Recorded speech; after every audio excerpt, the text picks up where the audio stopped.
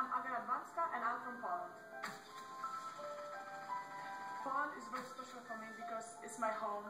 Um, people are very nice. The, there's the best food, and of course, um, I'm studying there, practicing there, so I'm feeling it's just like my home.